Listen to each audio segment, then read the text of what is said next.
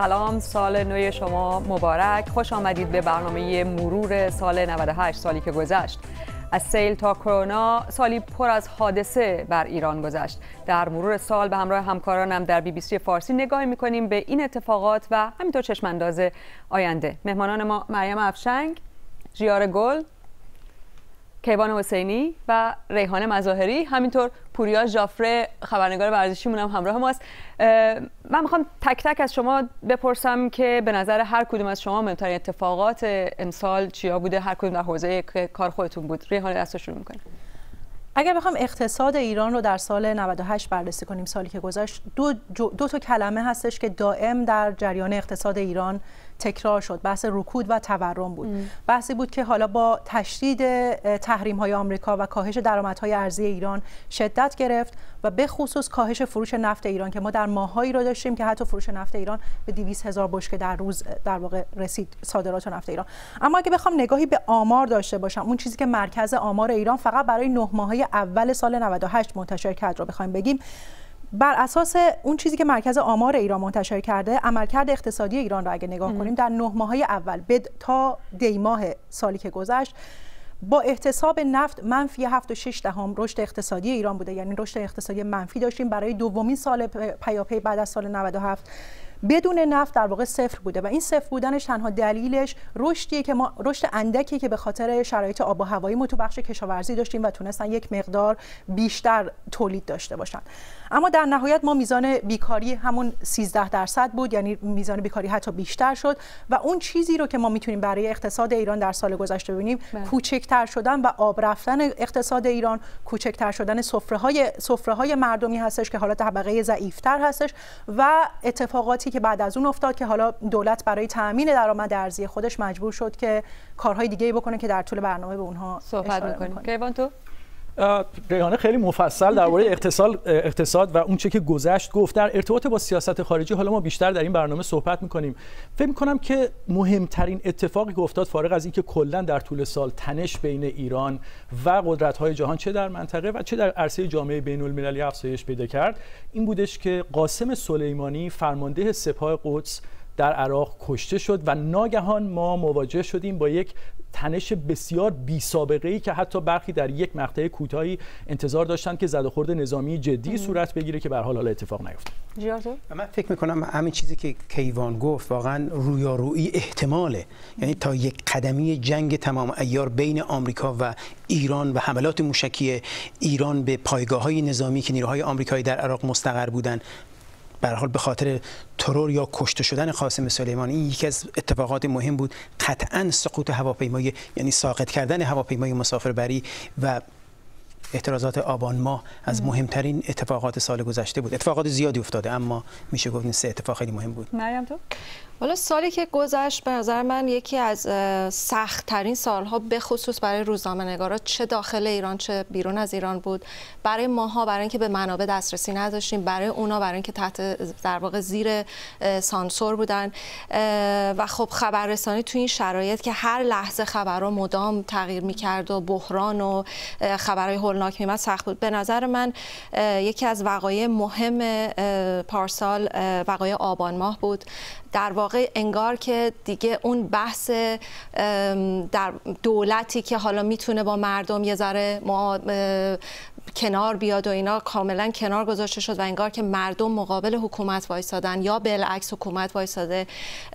شاهد این بودیم که و از اون سر اون بسته شدن اینترنت اون یک هفته ده روزی که اینترنت کاملا قطع شد و دنیا در بیخبری بود و بعدش هم خب سقوط هواپیما و شلیک موشک به هواپیما بود. پوری به نظر تو چطور بود؟ سال بعدی بود. گاهی اوقات میشه گفتش که ورزش هم منعکس کننده. اون حالتیه که توی جامعه هست و فکر کنم که جامعه ورزش هم مثل خیلی دیگه دوست دارن که هرچه سریعتر این سال به پایان برسه. به خصوص این چهار ماه خورده ای آخرش که مثل کابوسی میمونه که انگار ازش بیدار نمیشیم. اون پنجشنبه کذایی اگه اشتباه نکنم 25 آبان ماهه که من در اردن بودم. ایران بازی رو در دقیقه آخر به عراق باخت. بلافاصله بنزین گرون شد و بعدش اتفاقا پشت سر هم جوری دارن میافتن که ما هیچ کدومون باورمون هم نمیشه. صحیح. جالب برای من که هیچ کدوم شما به کرونا اشاره نکردین در حالی که مثلا چند روز پیش یک نفر نوشته بود بدترین اتفاق سال 98 چی همه گفته بودن یه چند روز صبر کنیم با, با, با وجود کرونا هم باز هنوز نمی‌تونیم ضربه نهایی آره تا, تا چند روز دیگه که پای سال به پایان برسه. ولی بحث عمده اینه اگر که قرار باشه که شما در حوزه هایی که خودتون کار کردید بخواین یک تحلیلی بدید از وضعیت. به نظر شما من که از تو شروع می‌کنم برای اینکه من می‌دونم تو ماه به ماه داشتی اینا رو مینوشتی. یه جنبندی به ما بده در مورد سیاست خارجه. رویارویی ایران و آمریکا. به هر سالی بود که ایران به شدت از طرف آمریکا تحت فشار قرار گرفت. ولی اون هدف دونالد ترامپ که ایران رو به زانو در بیاره علیرغم اشاره که تو کردی ریحانه. هنوز به نظر خیلی از کارشناسا اتفاق نیفتاده. اتفاقی که افتاد در این سالی که گذشت و به پایانش رسیدیم این بودش که اگر در سال قبلش دونالد ترامپ یک سری اقداماتی انجام داده بود که بیشتر در زمینه تنش لفظی بود و از جمله خروجش از برجام یا صحبتهایی که می‌کرد در سالی که گذشت این اتفاق از تنش لفظی تبدیل شد به یک تنش فیزیکی که خب این خودش خیلی مهم بود. از همون فروردین این سالی که شروع شد سپاه پاسداران رو گذاشتن در فهرست سازمان های تروریستی و باعث شد که از طرف ایران هم یه سری واکنش های تندی شروع بشه و در اردیبهشت ماه که سالگرد خروج آمریکا از برجام بود اتفاقاتی افتاد در خلیج فارس که بسیاری رو نگران کرد و یک دومینوی رو شروع کرد که چه بسا آخرش به کشته شدن قاسم سلیمانی و اتفاقاتی از این دست خاص شد. و اون این بودش که در نزدیکی امارات بندرهای اماراتی تعدادی نفکش چهار نفکش آتش گرفتند. دقیقا در همون فجایره. دقیق... آره در فجایره در سا... دقیقا در همون روز 18 اردیبهشت این اتفاق افتاد. همون روزی که دونالد ترامپ امضا کرده بود یک سال بعدش این اتفاق افتاد و در تمام این یک سال هم ایران تمام مدت داشت تلاش می‌کرد که با انتقادهای لفظی آمریکا رو عقب برونه. موفق نمی‌شد. همچنان تحریما داشت افزایش پیدا می‌کرد. میگم سپاه پاسداران وارد فهرست تحریم ها شد و از اینجا یک سری اتفاقات دیگه افتاد که در نهایت مسئله رو نظامی کرد در خلیج فارس و نگرانی های بیشتری. در خلیج فارس میگه در عراق اتفاق خیلی جالب بود. حالا ما راجع به آقای زم هم رو حالا زم صحبت می‌کنیم که او رو در عراق بازداشت کردند و به ایران بردن. اما فراتر از اون عراق یه موقعیت ویژه‌ای پیدا کرد در سال گذشته از در, در مورد رویارویی ایران و آمریکا. ببین در حقیقت عراق به یک میدان جنگ ام. یک میدان زورآزمایی بین آمریکا و ایران مبدل شده. فراموش نکنیم به خصوص بالاخره سیاست های ایران در خاور میانه کلا دست نیروی قدس سپاه بود و قاسم سلیمانی به حدی به رهبر ایران ایران نزدیک بود حتی فرمانده کل سپاه پاسداران به اندازه قاسم سلیمانی نفوذ نداشت رو رهبر ایران. به همین جهت کشته شدن قاسم سلیمانی اونجا و اتفاقاتی که در اونجا افتاد و ایران نه موشک اگه اشتباه نکنم به پایگاه های زد که نیروهای آمریکایی اونجا مستقر هستن. خیلی وضعیت رو بحرانی کرد و خیلی نفسشون رو حبس کردن گفتن احتمالا به یک جنگی تمام ایار مبدل میشه. بله. اما از طرف دیگه فراموش نکنیم قدرت ایران قدرت نیروی قدس سپاه پاسداران در ساختن نیست در بهم زدن قاعده بازی است. اگه شما نگاه کنید در لبنان در یمن در سوریه در عراق و حتی الان در افغانستان بله. رابطه با طالبان داره. به همین جهت ما می‌بینیم اتفاقاتی که اونجا افتاده ایران این پیام فرستاد. اگه ما نتونیم اون منطقه رو کنترل کنیم این قدرت این ابزار رو در دستمون داریم که همه چیز رو به هم بزنیم و نیروهای آمریکایی رو هدف قرار بدیم. و همینجوری که می‌بینیم در بله. هفته های گذشته مرتب پایگاه هایی که نیروهای آمریکایی بودن هدف موشک ها و راکت ها قرار گرفتن. اما برای اینکه بتونیم این بحث رو بهتر پیش ببریم من فکر می‌کنم که خوب هست که ماه به ماه پیش بریم. بذارید از شروع سال شروع بکنیم مریم. از سیلی که واقعا میشه گفت بخشای عمده از کشور رو بسیار تحت تاثیر قرار داد. مدت ها طول کشید تا بتونن کاری برای بعضی مناطق بکنن. ببین همین که میگی در واقع سال 98 با سیل شروع شد از شمال تا جنوب از شرق تا غرب. شهرها و روستاها یا استانهایی که سالها مشکل خشکسالی و بیابی داشتن زیر سیل رفتن در 25 استان تقریبا. بله. و واقعیت اینه که تصاویر هولناک بود. یعنی شما فقط خونه هایی که زیر آب رفته ماشین هایی که شناورن توی خیابون ها و و مدام موزل مردم این بود که این آبها رو از خونه ها بریزن بیرون و بتونن در واقع زندگی عادی برگردن. به زیر ساخت های اقتصادی و زیربنایی ایران بسیار آسیب وارد شد. بسیاری از مدارس دانشگاه ها راه ها پل ها سد ها تخریب شد. خب انتقاداتی هم بود از دولت که چرا مثلا یه سری رودخونه ها به قول معروف لایروبی نشده چرا ها اینطوری ساخته شده و مشکلاتی که از این دست. ولی واقعا باز هم توی حالا یا خبرها گم شد یا واقعا اطلاع رسانی نشد که خب این روند بازسازی به چه شکل صورت گرفت. اصلا می‌تونست بازسازی بشه ریحانه با توجه به که به حال وضع اقتصادی وضع نابسامانی بود روشن بود از سال قبل اوضاع خراب به موضوع اینه که سیل و زلزله و اینا اتفاق بلایای طبیعی اصولا یک بخشی در بودجه کشورها بر مبنای اون اتفاقی که ممکن مثلا تو همین بریتانیا من فکر می‌کنم سیل جزء یک هزینه هایی هستش که دولت هر ساله باید یک هزینه برای اون کنار بذاره توی بودجهش. برای اینکه در صورتی که سیل اتفاق افتاد که اصولا هر سال داره اتفاق میفته به دلیل بارندگی ها توی اون بخش به مردم کمک کنه. منتها موضوع اینه که بودجه دولت ایران انقدر اصولا همیشه با کسری و اینا مواجه بود به خصوص طی دو سال گذشته از سال 97 که تحریم ها و خروج آمریکا از برجام و اینا پیش اومد. انقدر درآمد نفتی و درآمد ارزی ایران پایین بود که نمی‌تونست. در واقع انقدر چاله چوله توی این کنار و این برانور هستش که دولت دیگه پولی برای هزینه کردن توی این بخش ها نبود. نه اینکه اصلا رسیده نکرده باشه. یه بخشایش حالا نیروهای خودجوش بودن که حالا کمک های مردمی بوده رسیدگی شده. منتها اگه الان نگاه کنید به استان هایی که حدود 20 استانی که سیل زده شدن در واقع بیشترین خسارت رو دیدن نگاه کنید میزان کمکی که شده انقدر ناچیزه. که شاید یا دولت نمی‌خواسته یا انقدر جاهای خالی دیگه ای بوده که پر کنه چون سال گذشته واقعا سالی بود که در هر بخشی رو که نگاه کنی بله. واقعا یک انفجاری تقریبا رخ داده بر نظر اتفاقات از همون فروردین ماه ظاهرا بحثایی که شده مرتبط بود با بحث کارآمدی دولت تو داستان سیلم که اتفاق افتاد اگه یادتون باشه از همون اول می‌گفتن که یه ناکارآمدی ساختاری رو ما الان شاهد هستیم در کمک رسانی ساختن این کانکسا یا حتی مسئله فساد. یه چیزی هم که مهم بود به نظر من این بود مثلا یه جایی مثل کرمانشاه اینا مدت ها مردم به خاطر زلزله توی چادر و کانکس زندگی می‌کردن و سیل هم اومد همون چادرها و کانکس ها رو هم برد. یعنی این ناکارآمدی دولت در اینکه خب اون زلزله رو هم نتونستید در واقع دقیقاً. چند سال قبل بوده دقیقاً سالهای قبلش بود که دولت دستش بازتر بود هنوز فروش نفت داشت هنوز می‌تونست پولی رو بذاره کنار واسه اینا. اون موقع کمک نشده. خب حالا دیگه به نظر من نکته مهمتر بذار بی ملاحظه و بی تعارف بگم. به نظر من سال گذشته سیاه ترین سال برای مردم. یکی از سیاه ترین سالها برای مردم بوده. چون که مرگ و مشکلات و کشته شدن و زندان و و مهمتر از همه برای حکومت ایران به باور من یک نوع مشروعیت زدایی از حکومت ایران شد نه در میان مخالفا. در میان کسایی که برای چهل سال از این حکومت طرفداری می‌کردن. به چه نقطه‌ای که این اتفاق افتاد که بود؟ آبان بود هواپیما بود. ببین اگه تو به هر حادثه از سیلی که مریم بهش اشاره شد اونجا که زمین های بیرویه اجازه داده بودن در مسیر این آبراها خونه ساخته بشه مسیرها رو سد کرده بودن تا به آبان ماه که حاضر نشدن تعداد کشته ها رو بگن حتی اخیرا هم گفته بودن اکثر کسایی که تو اعتراضات آبان ماه کشته شده نیروهای امنیتی بودن.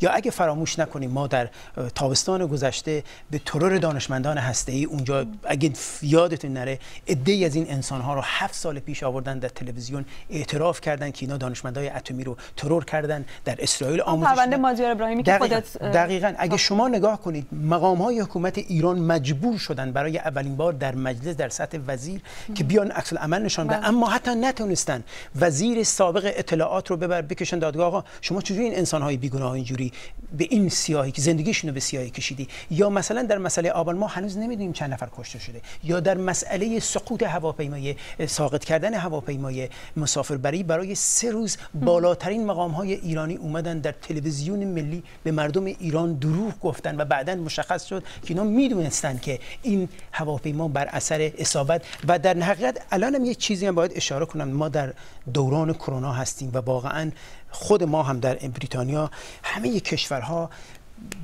علا رغم توان اقتصادیشون توان مدیریتیشون این یک مسئله شیوع این بیماری پاندمیک چیزی که سراسر جهان رو خواهد گرفت. قدرتی مثل آمریکا که اولین قدرت جهان اونم با مشکل و نه نباید انتظار داشت حکومت ایران مثل همه کشورها بتونه جلوی این مشکل بگیره. اما مشکلی که درباره حکومت ایران وجود داره ما اینجا از روز اول گفتن چند نفر گرفتن چند نفر کشته شدن چه, امک... چه برنامه هایی دارن از دولت انتقاد میشه از برنامه هاشون انتقاد میشه. اما در کشوری مثل ایران اگه کسی بیاد درباره تعداد کشته شیوع بیماری در قم بله. دستگیر میشه زندانی میشه و در یک نوع میشه گفت یک بیاعتمادی به حکومت ایران وجود داره در میان مردم. نه فقط در میان مخالفان اینو باید تاکید کنم. در میان کسایی که تا چند هفته اخیر در چند ماه اخیر باور داشتن به این حکومت. خیلی از اونا ایمانشون به حکومت و اینکه توان داشته باشن که اقتصاد کشور رو جلو ببرن. دقیقاً الان که اشاره کردم من می‌خواستم اینو بگم بخش اقتصادی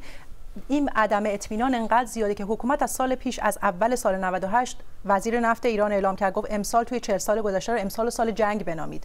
چون از دوران جنگ شرایط برای ما سخت‌تره. ما نمی‌تونیم نفت بفروشیم نمی‌تونیم درآمد نفتی داشته باشیم ولی داریم تلاش می‌کنیم. برای اینکه دولت گفت ما داریم تلاش می‌کنیم وابستگیمون رو توی بودجه به نفت کم کنیم. بله.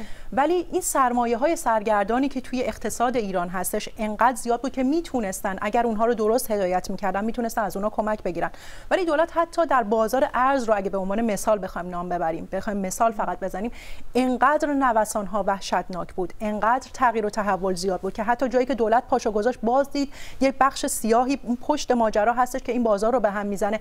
انقدر ناتوانی بود که حتی این سرمایه های سرگردان جرئت نکردن. دولت بورس انرژی را انداخت برای اینکه بتونه انرژی و این نفت رو از طریق بخش خصوصی ایران یه جوری خارج خب کنه دقیقاً بحث این ما رو میرسونه به بحث فساد که می‌دونم که پوریا خیلی در موردش در مورد ورزش به خصوص هم مطلب نوشتی هم کار کردی هم خوب می‌دونی. این بحث فساد رو در ورزش چطور می‌بینید پوریا؟ فن سال واقعا وحشتناکی بود برای فدراسیون فوتبال به خصوص چون بالاخره فوتبال بزرگترین ورزش مملکت نه فقط در ایران در تمام جهان و بیشترین مقدار پول توش رد و بدل میشه. الان ما داریم راجع به فدراسیونی صحبت می‌کنیم که نه دبیر داره دبیرش به صورت غیر قانونی داره به کار خودش ادامه میده نه رئیس داره یه سرپرست داره که اون هم داره به صورت نسبتا غیر قانونی به کار خودش ادامه میده. و پول هایی که این وسط گم گور شدن یک عدد عجیب غریبیه. واقعا ناراحت کننده است به خصوص توی این فضایی که تحریم ها وجود دارن. تیم ملی با مشکلات زیاد روبروی باشگاه با مشکلات زیادی روبرو هستن. مسئله زنان رو داریم که به اون خواهیم رسید. کوچ ورزشکاران رو داریم به خارج از کشور. من یه حساب سرانگشتی کردم از این تبلیغات محیطی با توجه به عددهایی که خود فدراسیون اعلام کرده. 366 میلیارد در عرض چهار سال گذشته فروخته شده. میگن که 121 میلیارد تومن رو به باشگاه ها دادن که از این 121 میلیارد تومن مقدار زیادی شو مثلا تماشاگر تراکتور سازی سنگ انداخته. چند میلیون جریمه برای اون بریدن فلان بازیکن به داور حرف بد زده چند میلیون جریمه بریدن اینها رو که از هم دیگه کم می‌کنید با 366 میلیارد منهای 121 میلیارد تومان میشه 245 میلیارد تومان. یعنی چیزی حدود 20 میلیون دلار با دلار 12000 تومان. به علاوه پولای ایران در فیفا اون 9 میلیون 300 هزار تا جام جهانی که ما دقیقا نمی‌دونیم یک مقدار زیادی چه اتفاقی براش افتاده. بنابراین این این پول ها کجان؟ این این چیزیه که بعد جواب داده بشه. تازه داریم تمام این مسائل رو صحبت می‌کنیم در مورد حق پخش تلویزیونی که احساس میشه که یک زدوندی شده بین صدا سیما و فدراسیون فوتبال و به باشگاه ها هیچی نمی‌رسه. شما همین الان حساب بکنید مسابقه استقلال و پرسپولیس چند هفته پیش انجام شد قبل از اینکه مسابقات به دلیل کرونا قطع بشن. تبلیغ تلویزیونی با حسابی که من کردم 45 دقیقه تبلیغ پخش شده. نزدیک 3 میلیون دلار تلویزیون درآمد داشته از همون مسابقه و این پول هیچیش به باشگاه ها و افراد نرسیده. اشاره که پوریا می‌کنه در مورد فساد در حال بحثی است که ظرف سال گذشته همونطور که در سالهای قبلش هم بارها بارها شنیدیم ادامه داشت. یک جا به اوج رسید. وقتی که در واقع رئیس قوه قضاییه قبلی و رئیس قوه قضاییه اسبق با هم دعواشون شد و یک بحثی بین آقای یزدی و آقای لاریجانی در گرفت که اونجا اون وقت شما می‌بینید که این بحث ها در چه رده هایی در جریان هست و چه اتفاقاتی داره میفته اما متاسفانه این برنامه ما قصدمون این نیست که حالا به جزئیات بخوایم به همه چی بپردازیم. من می‌خوام باز همونطور ماه به ماه پیش برم. چون تو بهش رو گفتی ماه بعدش رو خرداد رو اگه بگیریم یک اتفاقی افتاد که جامعه رو واقعا تکون داد. بحث کشته شدن میترا استاد همسر محمد علی نجفی. محمد علی نجفی یک آدمیه که برای بسیاری از ماها آدم شناخته شده ای بود. تقریبا همه ماها زیر بسیار مدارک تحصیلیمون امضای محمد علی نجفی بود. بله. وزیر آموزش پرورش بود وزیر سالیان سال وزیرای مخ... پست‌های مختلف داشت. من فکر می‌کنی که واکنش اجتماع به قضیه قتل میترا استاد چطور بود؟ و آیا این رو اصلا می‌شد می‌شد بگی که جامعه هضم کرد به راحتی یا نه؟ ببین واقعیتش اینه که اوایل خب همه از محاسن آقای نجفی یادآوری می‌کردن که چقدر این آدم آدم معتدلی بوده آدم آرومی بوده. ولی خب جامعه یهو خشمگین شد و اون رفتاری که صدا و سیما یا خبرنگاران داخلی در مورد پوشش خبر و اینکه مثلا خبرنگار صدا و سیما اگه یادتون باشه اون هفتی رو در آورد و گلوله ها رو کشید و خب همه می‌گفتن که این چه مدل اطلاع رسانی این آلت جرم این باید بمونه تحقیق بشه انگشت نگاری شه رو بردن مثلا در جایی که رفت برای اینکه بره اعتراف کنه رفت با چای آوردن براش. پرونده دست داد. اینا برای مردم خیلی عجیب بود. اصلا قابل قبول نبود و بعد همون موقع مثلا یهو احکامی می اومد از مثلا کارگرا از کسایی که مثلا تحسنات کارگری کردن اعتراضات کارگری کردن بعد می‌گفتن که خب کسی که در هر صورت قتل مرتکب شده چطوریه که مثلا میشینن باهاش چای می‌خورن بله. و مثلا کسانی که فقط میگن که آقا حقوق ما رو بدین و شش ماه حقوق معوقه داریم یهو مثلا احکام خیلی طولانی مدت یا رفتارهای خشونتبار و تحت شکنجه یا تحت فشارن.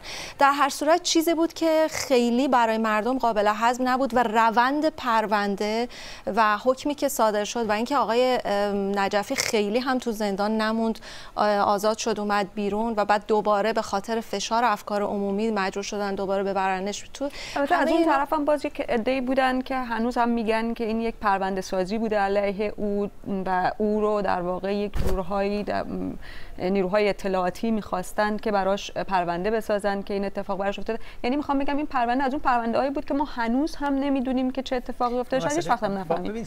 مسئله همون عدم اعتماد به سیستم قضایی به سیستم اطلاع رسانی ملی کشوره. مسئله اینه که ممکنه این خانم پرستو بوده باشه یه دام برای آقای نجفی بوده یا نه. اصلا آقای نجفی به خاطر اینکه قدرت در نظام داره تونسته روی دستگاه قضایی نیروهایی که میبایستی از ایشون تحقیق بکنن که ببینن واقعا چه اتفاقی افتاده. آیا آقای نجفی این قتل انجام داده یا کسی دیگه بوده به عهده گرفته؟ بالاخره شایعات زیاد بود اما مهمترین نکته این بود متاسفانه در ایران اعتماد به دستگاههایی که میبایستی منبع و مبدع این تحقیقات باشن نیستش. مشکل همونجاست که ما سناریوهای مختلفی رو میشنویم. شاید بعد نباشه به یه گزارش سازمان شفافیت بین الملل پارسال اشاره کنیم که میزان شاخص فساد رو که مبنا و ملاکش دولت هاست در نظر می‌گیره ایران در بین 180 کشور پارسال در رتبه 146 قرار داشت. اگر درست خاطرم باشه 140 به بالا بود. یعنی در واقع تقریبا در اون پایین های رده جدول. خب این نشون میده که میزان فساد داخلی حالا چه اجتماعی چه اقتصادی چه اون فساد سیستماتیک در این حکومت چجور هست و این باعث میشه که نه داخل کشور نه در خارج کشور یعنی حتی اگر در ایران تحریم هم نباشه ما شاهد بودیم که بجز بحث نفت ایران خیلی سختن کشورهایی که میان و در داخل ایران بخوان راحت سرمایه گذاری کنن چون بحث دراز مدت رو می‌بینن که نمی‌تونن در واقع روی اون حکومت در واقع حساب کنن که در دراز مدت چه اتفاقی می‌خواد بیفته که مدت ها هم دعوا بود سر مثلا FATF دقیقاً. مدت ها این رفت اتفاقای مهم همین ماه گذشته بود. و, و, و ایران اضافه شد به فهرست این نشون میده که توی ایران حتی یک جناح نیست و این نشون میده که خب الان دولت به قول خارجی ها اروپایی ها مدریت سر کار مدریت تر سر کار معتدل معتدل تر سر کاره. ما ممکنه با این بتونیم ولی چهار سال دیگه اگه این دولت عوض بشه و دولت دیگه ای بیاد سر کار خب احتمال اینکه ما بتونیم با اون دیل کنیم خیلی چیز آره، نیست. از همون خرداد ماه که الان پرسیدی یه تصویر درستی رو ژیار داد از کل سال و در ارتباط با بیاعتمادی. این توصیفی که می‌کنم خیلی کلیشه‌ای. به نظر میاد حالا شما ببخشید ولی دیوار بیاعتمادی که صحبتشو میشه اگر آجرهایی داره دونه دونه این اتفاقاتی گفتاده آجرهای اون دیوار بیاعتمادی هستند و در خرداد ماه اتفاق افتاد تا اندازه جامعه بین المللی رو از مسئله معتدل و تندروی ایران هم ناامید کرد این بودش که در زمانی که تو این ماه شینزو آبه به تهران سفر کرد و یک چشماندازی به نظر می اومد درست شده که تا اندازه ایران بتونه یه خورده سطح اینترنت رو کاهش بده با یک کانالی با کاخ سفید. میانجیگری در واقع. دقیقاً انگار که یه فرصت خیلی خوبی ایجاد شده بود و ظاهرا همین معتدل ها دنبالش بودن که یه کاری بکنن. همزمان با این سفر نفتکش ژاپنی تو خلیج فارس مشکل پیدا کرد. بهش حمله شد. مهمتر از اون به پهپاد آمریکایی ساقط شد در روز سی خرداد و کاملا جمهوری اسلامی ایران نشون داد در شرایطی که با مشکلات اقتصادی جدی روبرو هست و بسیار نارضایتی عمومی داره شکل می‌گیره بابت همین کمبودهایی که در جامعه وجود داره و به قول بچه ها همین بیاعتمادی که داره روز به روز افزایش پیدا می‌کنه کماکان بر مسیر همون رویارویی و تنش آفرینی با جامعه بین المللی داره حرکت می‌کنه و در اختلاف نظری که داره به هیچ وجه حاضر نیستش که قدمی و اونها در واقع من می‌خوام حرف اونها رو بگیم اینجا و جواب تو رو بشنم اونها میگن که ما فقط تنش آفرینی نمی کنیم در واقع طرف مقابل هست که این تنش آفرینی رو می‌کنه. اشارهشون به قتل و کشتن قاسم سلیمانی هست. میگن که یک فرمانده ارشد ایران رو میشه گفت دومین فرد سیاسی ایران رو کشتن خارج از مرزهای کشور. بخش مهمی از استدلال جلوی ایرانی که هم وجود داره اتفاقا خود طرفداران ایران میگن حالا بجز آقای سلیمانی مسئله خروج از برجام هست. میگن که اصلا ما اومدیم قرارداد امضا کردیم با شما. اتفاقی که افتاد اینه که ایران برجام رو امضا کرد و یک انتظاراتی شکل گرفت. چه در جامعه و افکار عمومی ایران و چه در سطح رقبای منطقه و دشمنان خارجیش. این تصویر ارائه شد تا اندازه ای که ایران در سیاست خارجی تهاجمیش تجدید نظر می‌خواد بکنه. صحبت از ریورینت کردن سیاست خارجی ایران و بازگشت جمهوری اسلامی ایران به جامعه بین الملل شد به عنوان یک عضو نرمال. بعد چه اتفاقی افتاد؟ دونالد ترامپ به ریاست جمهوری رسید. از اونجا به بعد شما اگر که مسیر حرکت سیاست خارجی ایران رو نگاه بکنید می‌بینید که به هیچ وجه عقب نشینی که اتفاق افتاد نیفتاد. هیچ بلکه این سیاست خارجی تهاجمی به نظر می اومد که از نظر برخی آدم ها در تهران داره جواب میده و اینا داشتن تلاش می‌کردن که میزان نفوذ خودشون رو حتی بیشتر گسترش بدن و پایگاه خودشون رو هم محکمتر بکنن و با همون امتیازی هم که باز یار بهش اشاره کرد که داره ایران این قدرت خرابکاری رو داره همه جا. ایران شاید نتونه خیلی جاها صلح درست کنه جنگ داخلی ها رو تموم کنه ولی می‌تونه کاری بکنه که جنگ داخلی ها طولانی بشه. می‌تونه کاری بکنه که بی‌نظمی و هرج و مرج ادامه پیدا بکنه مثل یمن مثل عراق مثل سوریه. از این امتیاز خودش حد اکثر استفاده رو کرد و رفت به سمتی که اتفاقا در میانه سال همین سالی که گذشت کم نبودن تحلیلگرانی که قبل از اینکه آقای سلیمانی کشته بشه حتی اعتقاد داشتن به رغم تمام این بلاهایی که داره سر ایران میاد ایران داره نفوذ خودش رو افزایش میده و داره یه سری امتیازهایی می‌گیره. من یادم حتی یکی از خبرنگاران بی بی سی آقای گاردنر در همون ماهی که آقای سلیمانی کشته شد قبلش چند شاید چند روز چند هفته زودتر در بی بی سی یک تحلیل مفصلی نوشت در باب اینکه چرا من فکر می‌کنم که با تمام این مشکلات ایران همچنان نفوذش زیاد شده در منطقه و ایران از افزایش این نفوذش هم برای در واقع اون مشکلات اقتصادی و گرفتاری های داخلیش هم بهره نمی‌برد. خب کیوان دقیقا سوال همینه. به هر حال ایران یک کشور با مختصاتی که هممون می‌شناسیم. فکر نمی به هر حال برای هر کشوری در این مشخصات اینها لازم بوده. یک کشوری هست در منطقه ای که رقبای زیادی داره دشمنان زیادی داره و فکر می‌کنی که مجبور هست که گسترش بده در واقع نفوذ خودش حالا از هر طریقی که ممکن هست. قطعا ایران می‌تونه یه سری در واقع استدلال های مشروع برای امنیت و دفاع از خودش داشته باشه. در مورد برنامه موشکی مشخصا به اون اشاره می‌کنه و برای همین میگه که من حاضر نیستم که دربارش مذاکره بکنم. از طرف دیگه اما اتهاماتی علیه ایران مطرحه و ایران همیشه می‌تونه به شکل شفاف از این اتهامات دفاع بکنه و بیاد و از ابزارهای دیپلماتیکی که وجود داره استفاده بکنه تا به برنامه های نظامی و امنیتی خودش مشروعیت بده. اینطوری که به نظر می اومد گروهی مثل گروه آقای ظریف داشت از این ابزارهای دیپلماتیک حد حد اکثر بهره رو می‌برد. اما آیا واقعا کارهای سپاه قدس رو هم میشه گذاشت در چارچوب برنامه هایی که آقای ظریف داره دنبال می‌کنه یا نه؟ یه اشاره بکنم به همین فعالیت نیروی قدس. بالاخره یک فعالیت سری داره نظامی داره نه فقط در خاور میانه و ما در, در اروپا در آمریکای لاتین ثابت شده. بالاخره شبکه گسترده منابع مالی وسیع و همچنین بر حال خیلی دنبال مخالفاش میره. اگه شما نگاه کنی همین صحبتی که شما میگی ما یک سال قبل از این موضوع آقای روحانی رو داشتیم که میومد به اروپا که یک دیپلماسی رو به راه بندازه. رفت اتریش رفت سوئیس. امیدوار بود که این برجام رو به یک نوعی بر حال زنده نگه داره فاصله بین اروپایا و آمریکا بیفته. به هر حال رابطه با غرب منهای آمریکا رو دنبال می‌کردن و ظاهرا به نظر می‌رسید رهبر ایران هم از اون حمایت می‌کرد. اما در همون برهه که این اتفاقات میفته ما می‌بینیم دیپلمات ایرانی که در اسدالله اسدی متهم شده الان در زندان بلژیک دستگیر میشه می‌خواست که یک بمب داشته یه زوج ایرانی که ببرن تو گردنهای سازمان مجاهدین در پاریس منفجر کنن یا اتحاد یا در هلند دو ایرانی مخالف بودن اونا ترور میشن و تمام کشورهای اروپایی در اون موقع که این ترورها انجام میشه. من دارم در فاصله زمانی 2015 و 2017 در هلند میگم و بعد در 2018 بعد در 2019 چندین عملیات و نقشه ترور و بمبگذاری کشف میشه. جالب این اروپایا سکوت می‌کنن. به خاطر اینکه جیار بحث اصلی این اینایی که تو گفتی مال زمانی هست که همونطور که گیوان اشاره کرد ایران در یک موقعیت قدرت قرار داشت. به نظر می‌رسه آیا در سال سال گذشته سال 98 هم همین روند ادامه, ادامه داشته. بله همین ادامه داشته. اگه شما نگاه کنید در در سوئد این موضوع اتفاق افتاد. تعدادی از افرادی از مخالفان ایرانی در هلند اینا رو زیر نظر گذاشته توسط پلیس چون که معتقد هستن در ترکیه دست کم در, در, در ترکیه ما دیدیم در ترکیه در نوامبر سال گذشته ما دیدیم که مسعود مولوی رو ترور کردن که خودش یکی از اعضای سابق سازمان اطلاعات سپاه بود.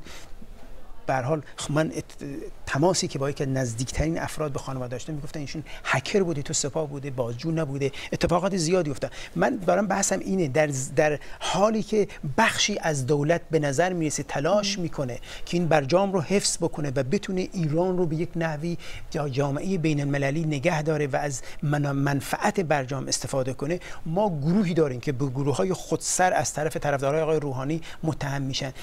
معلوم نیست به قدرتی منصوب هستند در داخل ایران. اینقدر قدرت دارن که عملیات هایی رو در اروپا انجام بدن که باعث بشه. حتی اروپایی هایی که برای چندین سال سکوت کردن به خاطر برجام و شاید منافع اقتصادی برجام هم برای خودشون. اما وقتی که ترامپ از برجام می‌کشه بیرون اونا صداشون بلند میشه بله. دیپلمات ایرانی رو اخراج می‌کنن. حتی بخشی از وزارت اطلاعات رو تحریم می‌کنن تو لیست سازمان تروریستی اروپا قرار میدن. و ما این مجموعه عوامل رو اگه نگاه کنیم بالاخره اینا تبعات داره. مسئله اقتصادی برای ایران مسئله مشروعیت ایران مسئله اعتماد به ایرانه. و ما می‌بینیم این مسائل و همچنین مثلا شما فکر می‌کنید آقای زن برمیگرده میره عراق به هر نحوی که میکشنش عراق اونجا دستگیرش می‌کنن در داخل عراق و می‌برن ایران. بالاخره مجموعه اتفاقات اینجوری این عملیات های اینجوری قطعا تبعات داره. جیار بحثی که ما به خصوص بعد از کشته شدن قاسم سلیمانی داشتیم نزدیک شدن ایران به جنگ بود. الان من می‌خوام از شما همتون بپرسم که به نظر شما آیا با توجه به اتفاقات مجموع اتفاقاتی که افتاد به نظرتون میاد که اصلا جنگی صورت بگیره یا نه؟ حالا الان که در وسط کرونا هستیم که به نظر میاد همه همه چیزهای دیگه فعلا متوقف شده. اما بحث این هستش که به هر حال خیلی اتفاقا افتاد که می‌تونست ایران رو ببره به جنگ. ولی نمی‌دونم از کدوم طرف از طرف ایران این اقلانیت بروز کرد یا از طرف آمریکا که نرفت به اون نقطه نرسید. فکر می‌کنید چی بود جریان؟ یه نکته حاشیه‌ای بی ارتباط به سوالت من بگم آقایون همیشه تو این بحثا متهمن که زیاد حرف می‌زنن. من همش نگران اینم که این عادتی هم که دارم میپرم توی حرف دیگران که خیلی عادت بدی خیلی داری خودتو کنترل می‌کنی. چون ما ما تو رو می‌شناسیم من می‌تونم اینجا شهادت بدم که خیلی خودتو کنترل کردی. بچه حواستون باشه پوریام. اونجا آره پوریام پوریا آقای یکی زیاد پوریام جزو آقایان. عادت‌های بدی هستش که باید.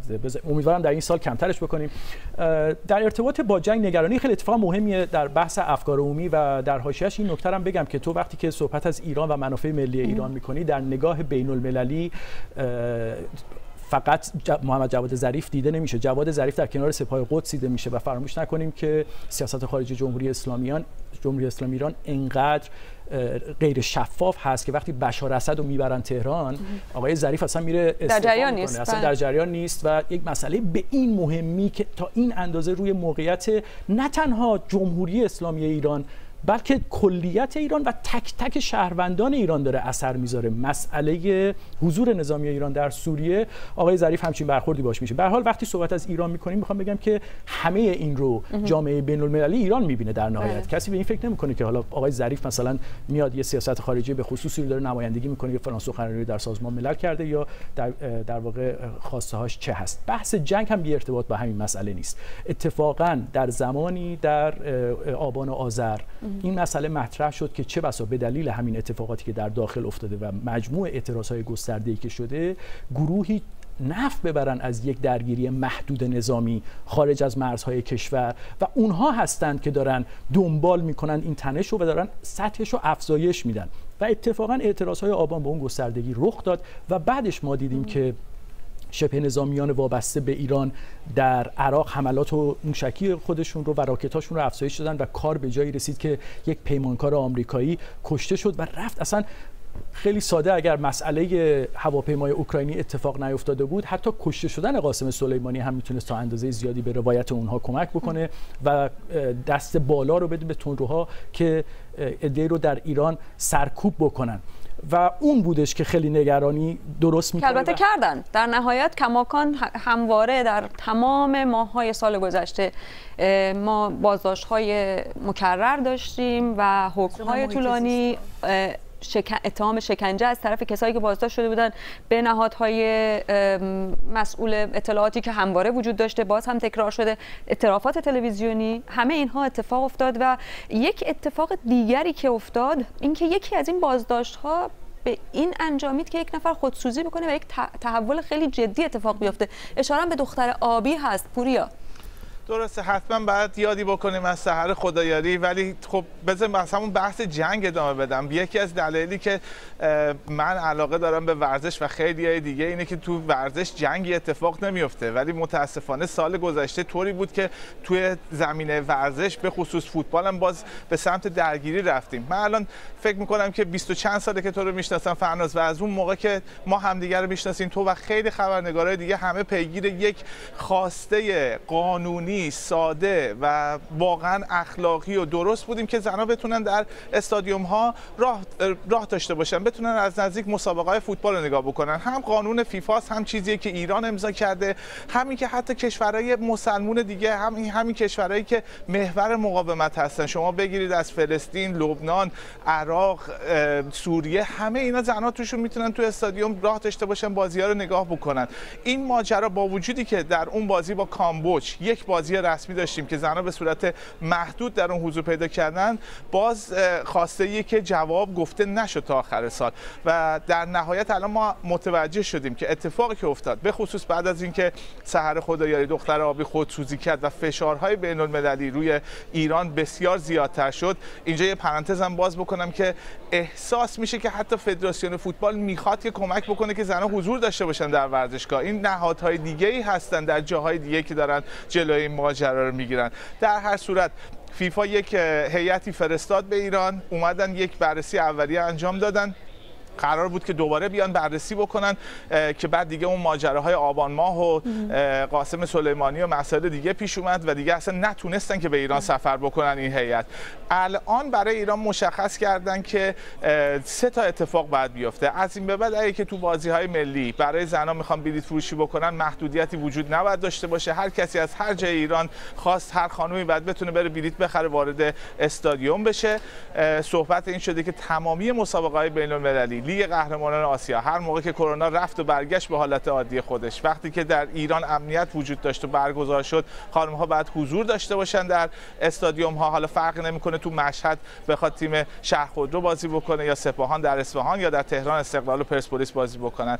و نکته سوم این که از سال آینده این لیگ که تموم شد و به نتیجه رسید در مسابقه های داخلی هم زنها باید حضور داشته باشن. مشخصا اگه که ایران بخواد این قانون رو رعایت نکنه با خطر تعلیق بسیار جدی روبرو خواهد.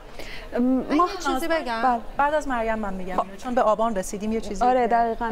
من می‌خوام الان که بحث زنان پیش اومد و بحث دختر آبی یه اشاره بکنم به دو تا زنی که واقعا در سال گذشته حرف هایی که زدن یا چیزهایی که گزارش هایی که ازشون منتشر شد تکون دهنده بود. یکی سپیده قلیان که یک صدایی به دست بی بی سی فارسی از زندان قرچک فرستاد و از اینکه چقدر تحت شکنجه و فشار بوده و بعد وقتی که از زندان که یادشون نمیاد یادآوری کن سپیده قلیان کیه. سپیده قلیان از فعالان کارگری بود و از فعالان در واقع نیشکر هفت تپه بود که با اون کارگران تو تمام اعتراضات در واقع حضور داشت. بعد هم که از زندان اومد شروع کرد روایت زندان سپیدار اهواز و شکنجه هایی که زنان به خصوص زنان عرب در اون زندان میشن رو گفتن و در مورد خودش و آقای بخشی هم اون در واقع اطلاع رسانی که انجام شد در مورد اینکه اینها تحت شکنجه شدید بودن اطرافات تلویزیونیشون تحت شکنجه بود اون هم بسیار و بعد از صدا و سیما و از خبرنگار صدا و سیما شکایت کرد که در واقع در زمان بازجویی حضور داشته. در واقع سپیده قلیان بله. سپید قلیان دختر خیلی جوونیه و واقعا این حجم شجاعت ازش خب خیلی معروف یه ذره چی میگن آدما رو سورپرایز می‌کنه. نفر بعدی که می‌خوام بهش اشاره کنم نیلوفر بیانیه از فعالان محیط زیست. نامه از زندان در واقع نامه که نه یک شرح حالی از وضعیتش به دست بی بی سی رسید. از 1200 ساعت بازجویی تحت شکنجه گفت. از اینکه واقعا چقدر تحت فشار بوده تهدید به آزار جنسی شده و واقعا اینا نکات هولناکی بود که شاید نمونه ای از خربارها و تعداد زیادی آدمایی باشه که صدایی نداشتن ولی این دو نفر در واقع صدای اون زنا بودن. این تهدید به آزار جنسی در واقع باید گفت که اون شکنجه هایی که می‌شد ماهیت جنسی داشتن. فقط تهدید نبود نوع انواع دیگری از شکنجه بود که می‌شد گفت که شکنجه جنسی اصلا در همه جای من می‌خواستم به اون اشاره کنم. مصاحبه ای که با خواهر مازیار ابراهیم ما داشتیم با شهرزاد ابراهیمی شوهرش رو می‌گیرن دو تا برادرش متهم به ترور دانشمندان هسته همین چند هفته پیش که پخش شد در بی بی سی. و دقیقاً این حرفایی که سپیده قولیان این خانم محیط زیست که اینها گفته بودن تایید می‌کنه. یعنی برای زنها هرچند برای مردها در کهریزک هم داشتیم چند سال پیش که. تجاوز تهدید شده یا انجام شده. اما به نظر می‌رسه آزار جنسی و استفاده از این تکنیک حتی بر علیه اعضای مؤنث خانواده های زندانی نه فقط خود زندانی های زن مثلا خواهر یک زندانی همسر یک زندانی رو تهدید به تجاوز و خدا می‌دونی چه اتفاقاتی میفته وقتی که در موقعیت قدرت. همین بعد از این جریان پخش مصاحبه شهرزاد ابراهیمی یکی از خود نمایندگان مجلس گفته بود گفته بود بازجویان اطلاعاتی و امنیتی حالا چه سپاه پاسداران چه وزارت اطلاعات در جاهایی هستن مثل خدا عمل می‌کنن و هیچ کسی نمی‌تونه اینها رو بازخواست بکنه. و در حقیقت فراموش هم نکنیم. همه این ارگان ها مستقیما زیر نظر رهبری هستن من یه نکته رو تا به آبان رسیدیم اشاره کنم که جرقه این اعتراض ها خیلی مهم بود. تصمیم بود که دولت من یادم سالهایی که توی ایران من کار خبرنگارم دهه 80 رو اگه بخوایم 80 خورشیدی رو در نظر بگیریم اون موقع می‌خواست انجام بده. بحث آزادسازی قیمت بنزین بود و تصمیم که یک باره بدون اطلاع قبلی گرفت برای اینکه قیمت بنزین آزاد رو سه برابر کنه به سه هزار تومان برسونه. این بود که جرقه اعتراض ها و اتفاقایی بود که ماه آبان اتفاق افتاد. در واقع جرقه تمام این اعتراض ها رو می‌تونیم بگیم فقری بود که در جامعه داره رو به گسترش بله. دهک های فقیری هستن که دارن بیشتر و بیشتر میشن و در کنار در مقابل اون دهک هایی هستن که دارن بیشتر و بیشتر در کنار این سیستم فاسد می‌خورن. در واقع بحث این که یک در آبان ما متوجه شدیم که یک اتفاقی افتاده و جمهوری اسلامی تعریف خودش رو از مستضعفان باز تعریف کرد. آقای خامنه ای اومد گفت مستضعف اونی نیست که فقط پول نداره اونی هست که به شیوه ویژه‌ای زندگی می‌کنه که در واقع شیوه هست که به نظر می اومد که آقای خامنه ای روش مهر تایید می‌زنه. یه نکته هم در ارتباط با آبان بعد نیست همینجا یه یادآوری بکنیم و اون اینکه این اعتراض ها به یک خشونت خیلی بی سابقه منجر شد که در طول تاریخ برخورد با اعتراض ها در ایران دست کم تا جایی که من به خاطرم مونده از میانه دهه 70 این سطح از خشونت دیده نشد.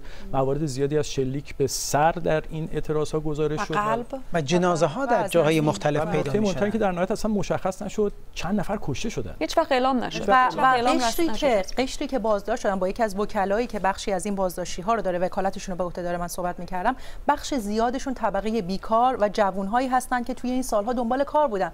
و این این آقا وقتی با من صحبت می‌کرد میگم من وقتی با اینا صحبت می‌کنم که چرا رفتی توی خیابون؟ می‌گفت من دیگه هیچ چیزی برای از دست دادن یا می‌گفت زنان سرپرست خانواری بودن تعداد زیادی از این بازداشتی ها. کسایی بودن که حتی به نون شبشون محتاج بودن. و وقتی طرف می‌بینی خب من الان دارم از راه مسافرکشی درآمدزایی می‌کنم. یا من تاکسی دارم اون راه درآمدمه. حالا سه برابر شده قیمت بنزین من باید چیکار کنم؟ یه اتفاقی که می‌خوام یه اتفاقی که افتاد در سالی که گذشت اشاره کردی به به اسامی دو نفر از زنانی که به هر حال اسمشون زیاد شنیدیم ولی در کل اتفاقات سال گذشته تصویر زنان تصویر بسیار پررنگی از جمله همین اعتراضات آبان زنان خیلی بیشتر حاضر بودن. تعداد بازداشتی ها حتی توشون بخش زیادی زنان بودن که در اعتراضات کارگری در سایر اعتراضات های مختلفی شاید بشه گفت یک وجه تمایزی که این اعتراضات سال گذشته داشت با اعتراضات. بالاخره ما هر چند سال از 88 اعتراضات وسیعی داشتیم. شاید به جرأت بشه گفت این اعتراضات آبان ماه سال گذشته یک وجهه مشخصش این بود که از قشر بسیار پایین شروع کرده بود. البته قشر بسیار پایین نه از لحاظ تحصیلات. خیلی از این افرادی که کشته شده بودن مثل پوریا بختیاری که تحصیلات داشتن کار نداشتن. بله. اونو پوشش دا با خانواده صحبت کن. ما ببینیم آدم هایی بودن تحصیلات داشتن آدم هایی بودن ولی تنها مشکلشون اون مسئله اقتصادی بود. مسئله سیاسی هم نبودا. بگیم مثلا از لحاظ بله. ایدولوژی با این نظام مشکل دارن. مشکل بقا بود. به همین جهت خیلی چیز دیگر رو هم در نظر بگیرید که حتی خود در واقع حکومت همین رو اذعان کرده و اون که کسانی بودن در این اعتراضات که اصلا در اعتراضات حضوری نشدن یعنی به عنوان معترض در خیابون نبودن.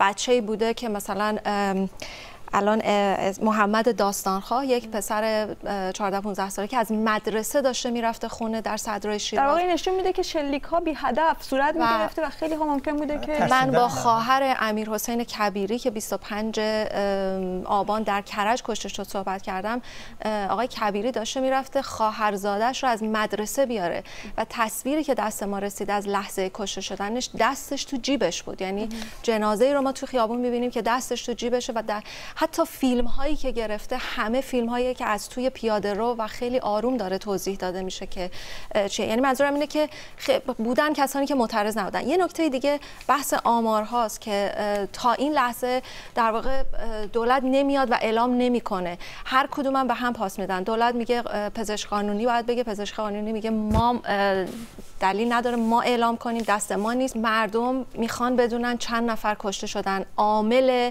کشته شدن بچه ها و عزیزانشون کیا بودن؟ چرا کشته شدن؟ و آیا واقعا هزینه این که آدم ها به صورت مسالمت آمیز اومدن در خیابون ماشیناشون رو خاموش کردن یا اصلا رفتن اعتراض کردن اینه که گلوله مستقیم به سر و قلب شلیک بشه؟ اینا سوال هایی که خیلی ها دارن و هنوز جوابی بهش داده نشده. به خصوص در مورد سال نگاه کردم چون خبرهای بد زیادی هست. اتفاقا حالا نشارم کردی به مسئله حضور زنان در این سال. و داشتم فکر کردم که ما در نهایت دور هم خواهیم جمع خواهیم شد و مقدار زیادی از اخبار بد رو مرور خواهیم کرد. فکر کنم تنها خبر به نسبت خوبی که وجود داشت همون خبر باز هم مرتبط با زنان و اون روزی بودش که زنها تونستن برن استادیوم. بله. و آره اون روز روزی بود که شاید یه گروه زیادی دست کم در جامعه مدنی و شبکه‌های اجتماعی خوشحال. بگم درباره این شکنجه ها این درباره اعترافات تلویزیونی درباره اتفاقاتی که میفته سقوط هواپیما متاسفانه در همه کشورهای جهان وقتی همچین اتفاق میفته تحقیق و تفحص میشه میلیون ها دلار خرج میشه می‌بینن چه عاملی باعث این کس... کسانی که عامل و عامرش بودن اونا رو بازخواست می‌کنن. گاهی به زندان میفته گاهی دولت ها وزیران عوض میشن. اما در ایران متاسفانه ما نباید انتظار داشته باشیم اینا قد بشه. نمی‌خوام آدم خیلی منفیگرا باشم ولی این یک حقیقتیه. تا زمانی که ما نیایم بگیم آقا حالا شما میگید انسان‌های بیگناه خود اینا هم گفتن بعضی از اینا شهیدن بالاخره بله. کشته شدن. چه کسی عامل اینا بوده؟ و تا زمانی که نگیم اینایی که به زور آورده شدن تو تلویزیون اعتراف کردن چه کسی اینا رو وادار کردن؟ آیا کسی محاکمه شده؟ بله. آیا کسی بازخواست شده؟ مثلا سخنگوی قوه قضاییه درباره مازیار ابراهیمی اینا گفته خب بالاخره در همه کشورهای جهان این اتفاقات میفته اشتباه میشه ما به اینا غرامت دادیم. اما شما قبل از اینکه یک شخصی جرمش اثبات بشه بله. میاری در تلویزیون اعتراف خرافاتش رو پخش می‌کنید. بعد میگی ببخشید اشتباه شدین 10 میلیون 20 میلیون تومان برید مشکلتون حل میشه به حال این اتفاقات ادامه پیدا زیادی نداریم. مثلا چند دقیقه تا پایان برنامه داریم. یک قبل از اینکه بیایم توی استودیو با سیاوش اردلان صحبت می‌کردم. گفتش که ما هممون تا چند وقت پیش خیلی اتفاقات همه این چیزایی که امروز راجع به صحبت کردیم اتفاقات عجیبی هست ولی باز هم در کار ما نسبتا نرمال هست. کرونا کل زندگی رو از حالت نرمال خارج کرده. یعنی ما خبر بد داریم خبر خوب داریم اتفاقات بد و خوب و پوشش میدیم ولی کرونا الان یک اتفاق خیلی عجیبی هست که در زندگی تمام جهانیان به نوعی در جریان هست. من می‌خوام این چند دقیقه آخر راجع به کرونا صحبت بکنیم و اینکه چقدر این به نظر شما زندگی همه مردم دنیا رو به هم شبیه کرده و چه توقعی میره از دونه دونه کشورها؟ اگه کوتاه بگید یکیش این که ببخشید همین الان ما خیلی نزدیک هم نشستیم و فکر کنم این دیگه آخرین بار باشه. دقیقاً. امیدوارم هیچ کدوم عاقلش نباشه. دقیقاً. اقتصادیشو بگی اگه اقتصادیشو بخوایم نگاه کنیم خیلی کوتاه بگم. کرونا باعث شد تمام بورس های دنیا روش تاثیر روی تمام بورس های دنیا تاثیر و ما فرو در واقع ریزش شدید بورس رو داشتیم. منتها اینکه کشورها هر کدوم چطور دارن باش برخورد می‌کنن متفاوته. خب کشورهای ما اینور اروپا رو داریم می‌بینیم کمیسیون اروپا چند روز پیش یه بودجه خیلی بزرگی برای مشاغل کوچکی که حالا کارشون رو از دست میدن درآمدشون رو از دست میدن در بله. نظر گرفت. همین بریتانیا دیروز 330 میلیارد پوند در نظر گرفت. در ایران اون چیزی که ما می‌بینیم وعده هایی که تا الان حکومت داده خب بخش مجانی کردن قبوز آب و برق و حالا یه سری وام هایی که هستش که می‌تونن به تعویق بندازن و اینا. منتها اینکه دولتی که کس من بیشتر روی ایران فوکوس می‌کنم چون می‌دونم بیننده ما دنبال ایران هستش بودجه که اصلا برای ایران بسته شده بودجه هستش که مبنای بودجه سال 99 که حالا با حکم حکومتی رد شد یعنی از مجلس گذر کرد و رفت بالاتر بودجه هستش که مبناش تا در واقع بر مبنای بهبود شرایط این یک ماه آخر سال شب عیدی و بله. در واقع اینکه کسب و کارهای کوچیک درآمدی پیدا می‌کنن و مستقیم رفته شورای دقیقاً شورای نگهبان رفته و و اون بودجه در واقع الان در همین حالت عادی بودجه که بین 50 تا 200 میلیارد هزار میلیارد تومان میگن ممکن کسری داشته باشه بله. و اون بودجه هیچ در واقع تاثیر مشخص نیست در سال آینده می‌خوام با اون بودجه چه کار کنه دولت در واقع اگه بخوایم ایران رو در نظر بگیریم ما باید بگیم که مشاغل کوچک بخش زیادیشون از بین خواهند رفت توی حتی خوشبینانه ترین حالت توی در واقع فصل بهار اگه بله. پایان فصل بهار پایان کرونا تقریبا توی ایران باشه کوتاه بگو ریحانه آره. تموم شد وقتمون بگو تو بگو آره خیلی زیاد. آره می‌دونم بگو من مطمئنم که روی روابط بین الملل اثر خواهد گذاشت. اما اینکه چه اثری می‌ذاره در واقع بستگی به این داره که چطور این بیماری جمع بشه و بله. در نهایت کی بیشتر نتیجه بگیره. دو بحث دو قسمت داره دو قطب داره این بحث. یه قسمتش این هستش که همکاری های بین المللی و چند جانبه گرایی آیا کمک می‌کرد به اینکه این ویروس کمتر منتشر بشه و تعداد آدمی کمتری کشته بشن یا اینکه نه یک جانبه گرایی بستن مرزها هر کسی به فکر خودش باشه. کاری که مثلا بعضی از کشورها مثل جمهوری چک انجام الان جوابشو می‌دونیم؟ هنوز که نمی‌دونیم. باید ببینیم که در نهایت می‌دونین هنوزم بحث واقعا. یعنی آره. یه کسی ولی الان وقت نداریم برای اون بحث. متاسفم پوریا تو بگو.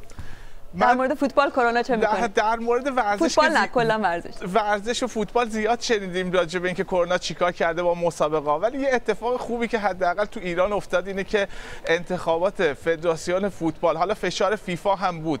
کرونا باعث شد که برگزار نشه. واقعا بله. اگه بخوام این انتخابات براتون تعریف کنم یاد اون سکانس نمایشنامه شهر قصه میافتم که از خاله سوسکه می‌پرسن جنگیر می‌خوای یا رمال؟ میگن که نه اون خوبه نه ایشون. بقیه‌اش هم که می‌دونید چی میگن. خلاص از اون انتخابات وحشتناک فدراسیون راحت شدیم به خاطر کرونا. مرسی. ژیار خیلی کوتاه بگو. فرناز به نظر من این ویروس کرونا که هیچ حتی با چشم عادی یا نمیشه شکستگی و تزلزل جامعه انسانی رو نشون میده. ما با پیشرفته ترین تکنولوژی که شاید بگم شاید بگم نیست در حقیقت در تمام تاریخ انسانیت بی سابقه بوده.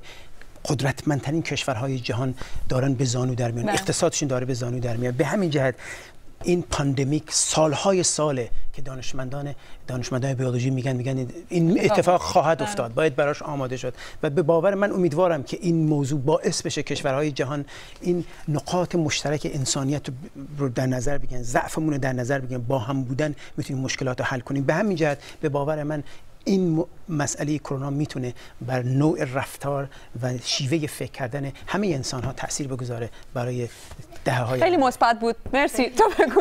من فکر می‌کنم که اون نگاه انسانیش که الان یهو می‌بینید انگار هیچ مرزی وجود نداره. همه مردم در همه جای دنیا نگرانن. همه جا میرید یه سری چیزا تموم شده تو فروشگاه ها همه توی بالکن های خونه هاشون پنجره هاشون آواز می‌خونن اینا. و یه چیز دیگه یادی بکنیم از مرتضی احمدی که گفت ای سال بری که بر نگردی سال 98 ممنونم از همه شما که در این برنامه شرکت کردید و ممنونم از شما که با این صفحه دوی ویژه مرور سال همراه ما بودید. شب و روزتون همیشه خوش.